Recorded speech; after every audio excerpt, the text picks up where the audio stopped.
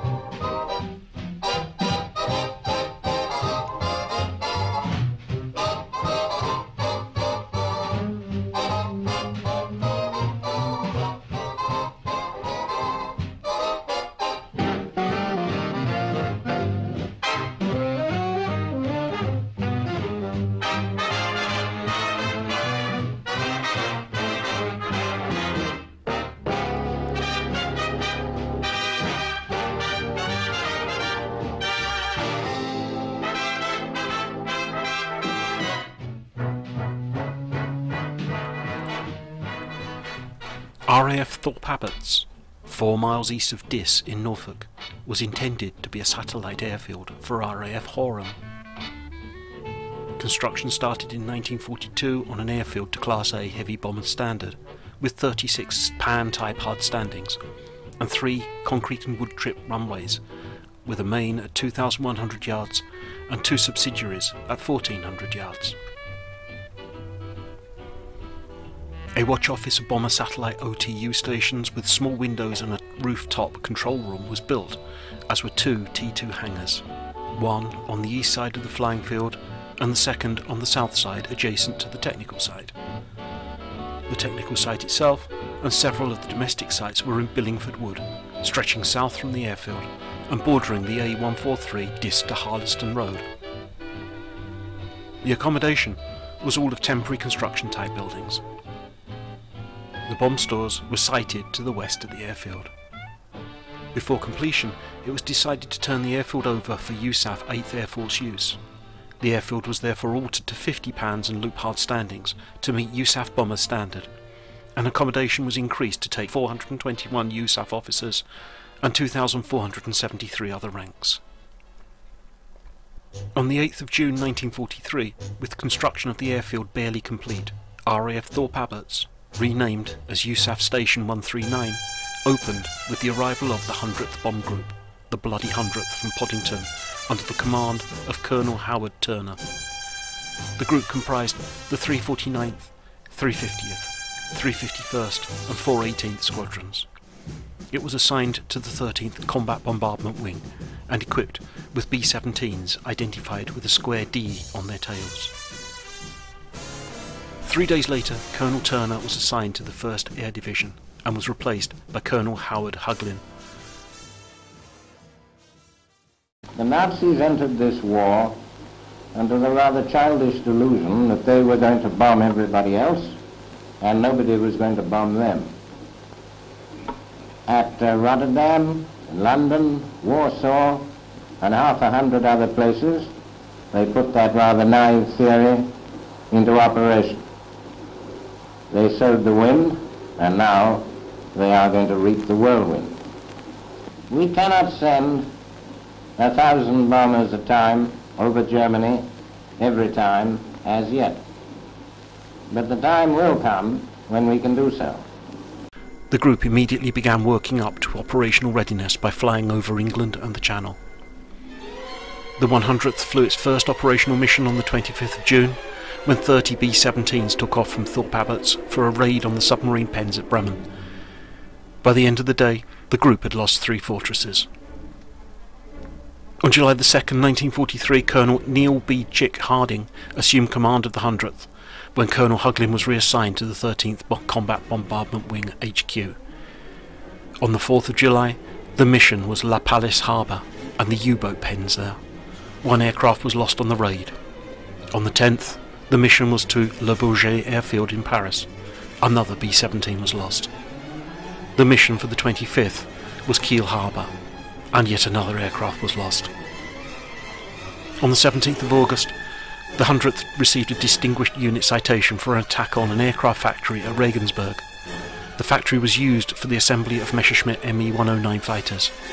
It was a complex mission requiring the coordination of two separate streams of bombers the second stream was headed to Schweinfurt and the ball bearing works there. The 22 B 17s of the 100th, at the tail end of a 15 mile bomber stream, found themselves unescorted when one of the P 47 units never appeared. Harry H. Crosby, a navigator in the 418th Bomb Squadron, wrote in A Wing and a Prayer What seemed to be the whole German Air Force came up and began to riddle our whole task force. As other planes were hit, we had to fly through their debris. I instinctively ducked as we almost hit an escape hatch from a plane ahead. When a plane blew up, we saw their parts all over the sky. We smashed into some of the pieces. One plane hit a body, which tumbled out of a plane ahead. 24 American bombers were lost on the Regensburg raid, nine of them from Thorpe Abbotts. September saw more losses. On a mission to the Beaumont-le-Roger airfield near Paris on the 3rd, four aircraft were lost and three days later the mission to airfields at Stuttgart saw another three B-17s lost. One aircraft was lost on the mission to bomb the Renault factory in Paris on the 15th, and another on the raid to the Bordeaux submarine pens the following day. October was to be an even bloodier month, starting on the 4th when one aircraft was lost while bombing factories at Hanau near Frankfurt. This was followed by the Bremen raid on the 8th, when very heavy flak was encountered as they approached the city. Seven B-17s were lost and 72 aircrew died. Two days later, 21 aircraft departed Thorpe Abbotts to bomb workers' housing at Munster. 12 aircraft and 121 men were lost, only 13 reaching the target, and just a single B-17, which bombed the target, managed to return to Thorpe Abbotts. This was Rosie's Riveters, piloted by Lieutenant Robert Rosenthal. On Black Thursday, October the 14th, the 100th was only able to muster eight aircraft for a raid that nearly broke the 8th Air Force. 291 B-17s assembled to make a second raid on the ball-bearing factories at Schweinfurt, resulting in 60 aircraft shot down, 17 written off, more than 100 others damaged.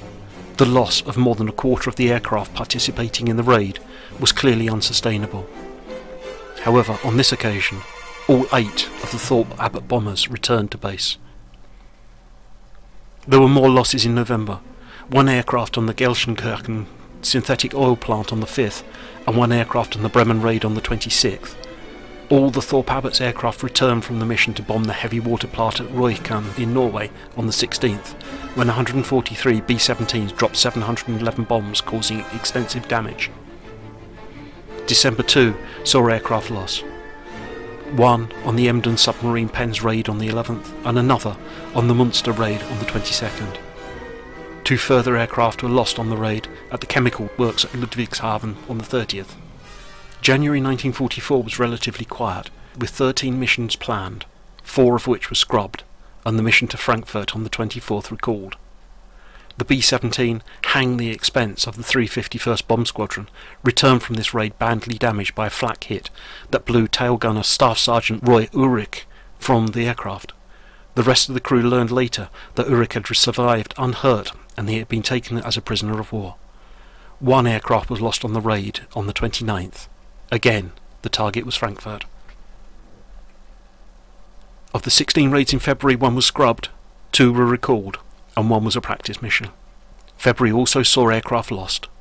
One on the Frankfurt Steelworks raid on the 4th, two on the Brunswick raid on the 10th, and two on the raid to Posen and Stettin on the 20th. During Big Week, during the 20th to 25th of the month, the group lost one aircraft on the Brunswick raid on the 21st and one aircraft on the Regensburg aircraft factory on the 25th. There were 15 missions flown in March, four all the way to Berlin. On March the 3rd the target was Berlin, losing three aircraft. They went back the next day and lost another. It was Berlin again on the 6th. This time the 100th suffered its worst losses of the war and lost 15 aircraft. Colonel Harding was relieved of command due to illness on the 7th, and Lieutenant Colonel John Bennett assumed temporary command of the unit, just in time to fly yet another mission to Berlin on the 8th, where they lost another aircraft, but received a second Distinguished Unit Citation. The mission on the 15th was the aircraft factory at Brunswick, and another bomber was lost. The final losses of the month came on the 18th, when a further three bombers were lost. 23 B-17s lost in one month.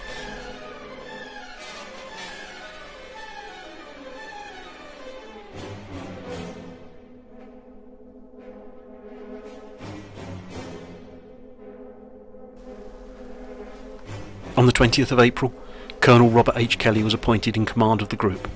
There were 20 missions planned for April, from which one aircraft was lost on the Ham raid on the 22nd, one on the Thionville airfield raid on the 27th, and two on the Sotteville V1 site raid on the 27th, one of which was Colonel Kelly's B-17, shot down on his first mission with the group and killed in action. The following day, Lieutenant Colonel John Bennett again assumed temporary command of the unit and continued leading the group until Colonel Thomas Jeffrey was appointed as the commander on the 7th of May. This was to be another bloody month for the 100th. On the 11th, one aircraft was lost on the Liege raid, and two the next day on the Bruges oil refinery in Czechoslovakia. Three aircraft were lost on the Berlin raid on the 19th, and the return to Berlin on the 24th. With the target again Berlin, there were nine aircraft lost. The raid on the Magdeburg oil refinery on the 28th saw another B-17 lost, and yet another the following day at Leipzig. June was a busy month, and 24 missions were flown in the period of the D-Day landings. On the 2nd and the 4th, the Boulogne shore defences were bombed, with Abbeville being bombed on the 5th, where two bombers were lost. Ouistreham, just north of Caen, was bombed on the 6th, followed by two missions to Falaise, one of which was recalled.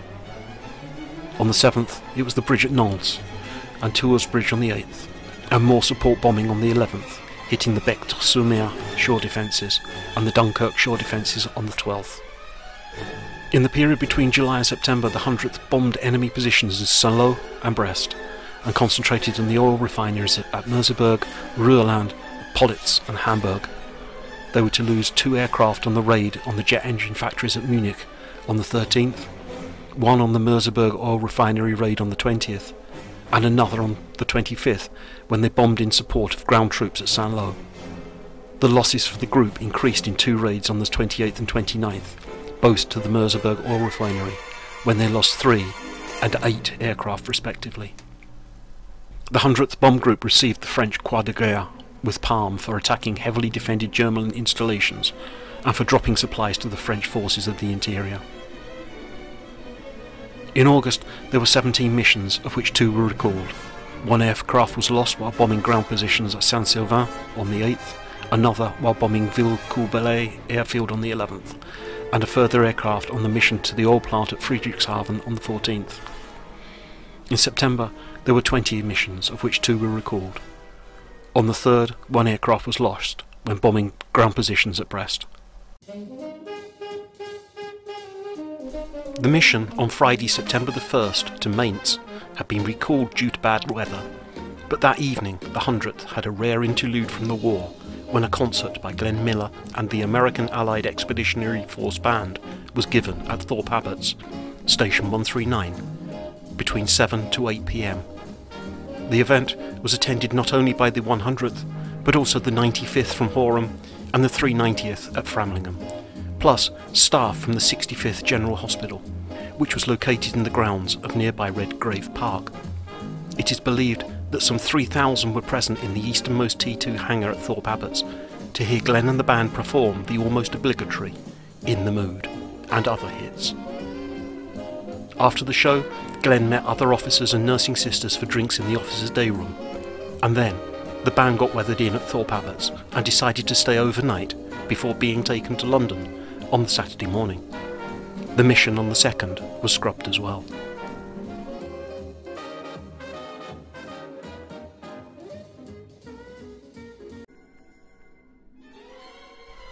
On the 3rd, one aircraft was lost when bombing ground positions at Brest. The pressure was kept up on the German oil production with missions to the Reuerland oil refinery on the 11th, when 12 aircraft were lost, Magdeburg on the 12th, and the Mersa oil refinery on the 29th. German armaments production was also targeted with missions on the 5th, bombing the Stuttgart aero engine plant, the Nuremberg tank works on the 12th, the Sindelfingen motorworks on the 13th, the Bremen tank works on the 26th, and the Bielefeld ordnance dump on the 30th. The group took part in Operation Frantic, the second Russian shuttle flying supplies to Warsaw on the 18th and on to landing fields in Russia, attacking Szolnok in Hungary from Russia on the 19th and returning to Thorpe Abbotts on the 22nd. Between October and December the group attacked armament factories, marshalling yards, oil refineries, and bombed ground defences in the drive against the Siegfried Line. The Kassel Aero Engines plant was bombed twice on the 2nd and the 18th. The Spandau aircraft parts factory was bombed on the 7th, with the only aircraft lost that month. Only 10 missions were flown in November against the oil refineries at Merseburg on the 2nd, the 21st and 30th, against the marshalling yards at Thionville on the 5th, Neumünster on the 6th, Saarbrücken on the 9th, and Ham on the 26th and 29th. The group lost three aircraft on the month's raids, one at Thionville, one at Saarbrücken, and the last on a raid at Wiesbaden on the 10th. December was a continuation of November with 14 missions flown, but two recalls through bad weather. The marshalling yards at Darmstadt were hit on the 12th, Mainz on the 13th, Kaiserslautern on the, on the 25th, Frankfurt on the 29th, and Kassel on the 30th. They were involved in the mission to attack communication centres and airfields in the Ardennes sector on the 24th during the Battle of the Bulge. The 100th flew their last mission of the year against the oil refinery at Hamburg on the 31st. It was to be another black day for the group, when 12 aircraft and 111 men were lost. January was a month of marshalling yards, oil refineries and the bridges at Cologne, Mainz, Breisach, Mannheim and Duisburg.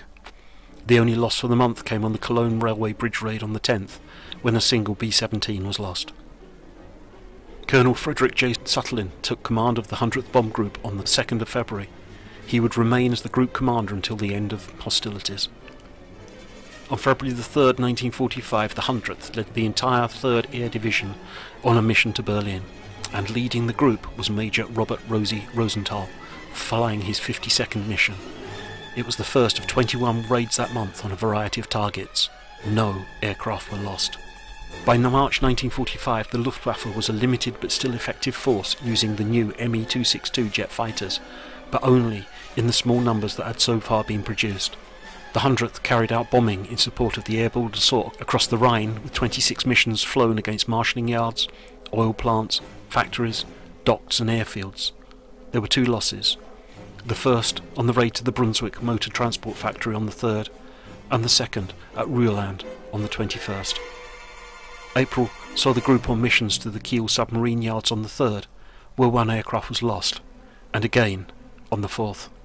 They lost another aircraft on the 5th on the raid to Nuremberg marshalling yard, and two aircraft on the Buchen oil storage facility on the 7th.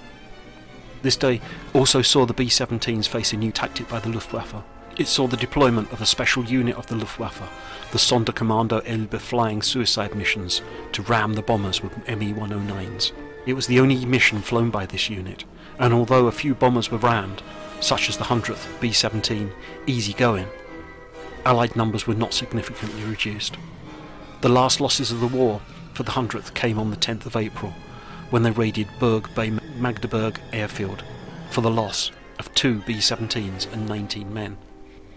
From the 14th to the 16th, the group flew three missions to bomb ground defences at Royan, and on the 20th they flew their last combat mission of the war to Oranienburg marshalling yard in Berlin. Mission number 306.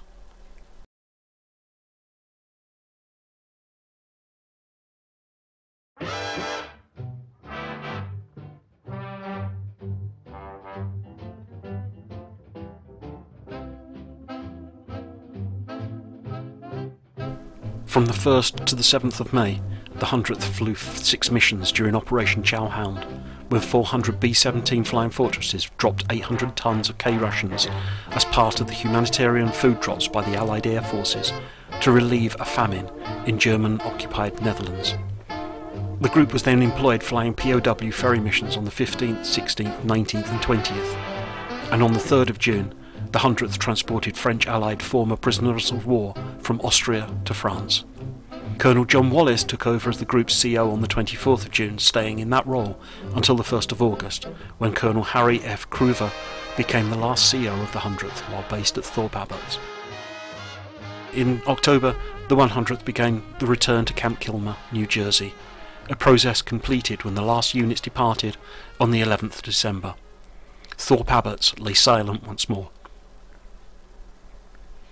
The bloody 100th have flown 306 missions, dropped 19,257 tons of bombs, lost 177 aircraft in combat, with 52 lost in other actions, and had suffered 768 men killed or missing in action, with 939 captured as prisoners of war.